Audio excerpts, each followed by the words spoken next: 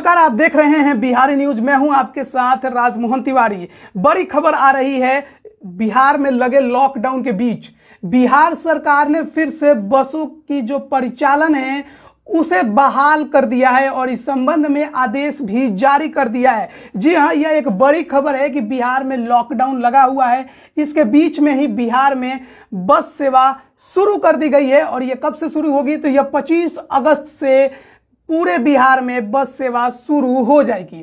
24 अगस्त को परिवहन विभाग के मुख्य सचिव संजय कुमार अग्रवाल की अध्यक्षता में क्राइसिस मैनेजमेंट ग्रुप की बैठक हुई थी। इस बैठक में यह निर्णय लिया गया है कि बस सेवा जो है वो पूरे बिहार में फिर से बहाल कर दी जाए। हालाँकि इसके अलावा जो आदेश जारी किया गया है, उसमें कई बातों का ज़िक्र भी किया गया है कि किन किन शर्तों के आधार पर बस सेवा पूरे बिहार में बहाल होगी। पहला बात तो यही है कि एक सीट, एक सिद्धांत, यानी एक सीट पर एक व्यक्ति बैठेगा और कंटेनमेंट जोन में बस सेवा नहीं शुरू होगी। कंटेनमेंट जोन में अभी भी बस सेवा प्रतिबंधित रहेगी, यानी उधर से बस नहीं गुजरेगी। इसके अलावा कई और बातों का ज़िक्र इस आदेश में किया गया है। वाहन मालिक के साथ ही चालक, कंडक्टर, यात्री और जिला प्रशासन को भी कई ज़िम्मेदारी दी गई है कि कोरोना संक्रमण के बीच में बसों का जो परिचालन हो, वो कैसे हो कैसे हो और सुरक्षा के जो मानक हैं और जो नियम हैं, बनाए गए हैं, उसका पालन कैसे हो? तो इस संबंध में आपको मैं बता दूँ कि वाहन मालिकों के लिए किन किन बातों का ध्यान रखना ज़रूरी होगा और वाहन मालिकों को यह आवश्यक होगा कि जो नियम कायदे बनाए गए हैं और जो नियम बताए गए हैं, इस आदेश में उसका वो पालन कराए, अन्यथा उनके ऊपर कार्रवाई की जा सकती है। तो एक नज़र डाल लेते हैं कि किन किन बातों का ज़िक्र किया गया है इस आदेश में।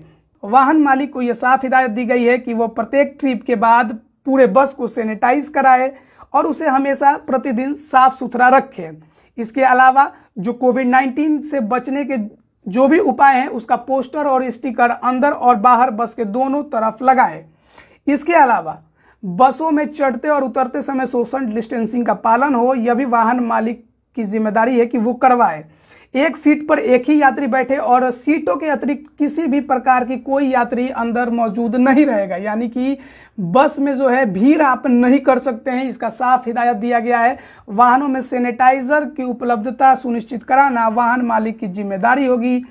अब बात करते हैं वाहन चालक, यानी कि ड्राइवर और कंडक्टर के लिए क्या क्या नियम बनाए गए हैं क्या क्या शर्तें उन्हें बताई गई तो वाहन में चढ़ने से पूर्व यात्रियों के हाथों को सैनिटाइजर से साफ़ करवाने की ज़िम्मेदारी वाहन चालक एवं कंडक्टर की होगी। वाहन जो है, वो प्रतिदिन साफ़ हो और प्रत्येक ट्रिप के बाद उसकी सफ़ाई हो, इसका भी ध्यान उन्हें रखना होगा। इसके अलावा, यात्रियों द्वारा बस में चढ़ने और उतरने के संबंध में सोशल डिस्टेंसिंग बनाया रखा जाए, इसका भी अनुपालन वाहन चालक एवं कंडक्टर को कराना होगा। जिला प्रशासन को भी कई जिम्मेदारियाँ दी गई हैं। जिला प्रशासन को यह साफ़ हिदायत दी गई है कि वो अपने क्षेत्रों के अंतर्गत बस स्टैंड और टैक्सी स्टैंड पर दंडाधिकारी के साथ पर्याप्त संख्या में पुलिस बल की प्रतिनियुक्ति करे ताकि यह सुनिश्चित हो सके कि सोशल डिस्टेंसिंग का पालन हो, साफ़ सफ़ाई संबंधी प्रोटोकॉल जो बना है उसका भी पालन हो और बसों में जो सीट के अनुसार बैठने की क्षमता निर्धारित की गई है, उसका भी पालन बस के ड्राइवर के द्वारा की जाए। और इसके अलावा यह भी ध्यान रखना होगा जिला प्रशासन को कि बसों में यात्रियों से निर्धारित शुल्क यानी निर्धारित यात्रा शुल्क से ज़्यादा किराया ना वसूला जाए, इसका भी ध्यान रखना होगा जिला प्रशासन को।